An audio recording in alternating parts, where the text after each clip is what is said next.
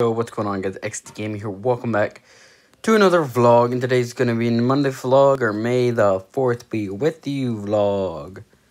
So, let's see, I woke up, um, to mower running, because they were mowing our lawn, um, and it was pretty noisy, but, um, so I woke up to that, I woke up, and we started we were getting some of the Star Wars toys out of the uh, garage because they were left there when we moved. Um, we have like in we have like a bunch of the action figures.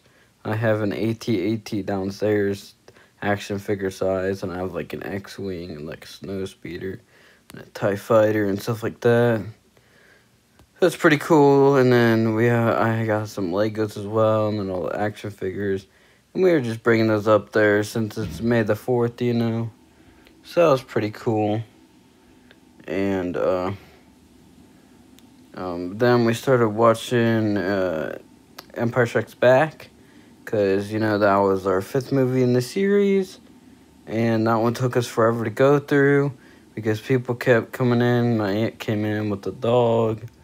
And then we went on a walk. So that was Nice. I had to stay in the wheelchair again because I'm still on the walker. But we went around the cul-de-sac and then looked at all the houses. And one was getting under construction. So we did that. Then we came back in. We watched the rest of the Empire Strikes Back. Then we started watching Return of the Jedi. Then my aunt and uncle came over. Then uh, my aunt came over later on with more stuff, but I was in the bathroom when that happened. But, um, yeah, we finished Return of the Jedi, so that was good. We took a picture with our Love Your Melon caps, like mine over there. It has the Mandalorian on it, which I think is cool. Here, I'll show you. If you haven't seen that vlog, see it has the Mandalorian on it.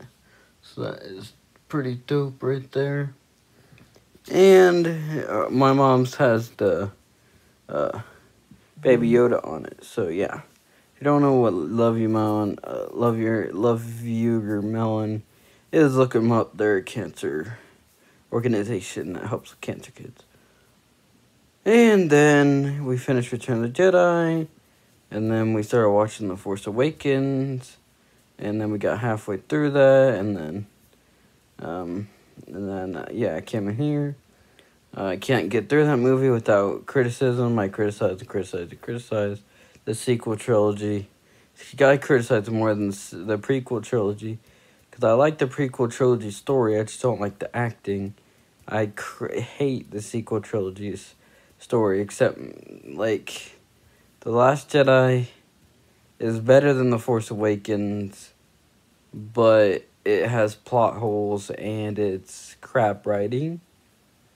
But the story aspect of it is better in one sense because it's not completely ripping off Empire Strikes Back. That's why. And Rise of Skywalker is pretty good. I will give you that. That one's pretty good. But The Force Awakens, like, completely rips off the, the New Hope like, I won't even get into that right now. But yeah. Anyways, don't forget to like, comment, subscribe, follow my social media down in the description below. And I'll see you guys next time. Peace.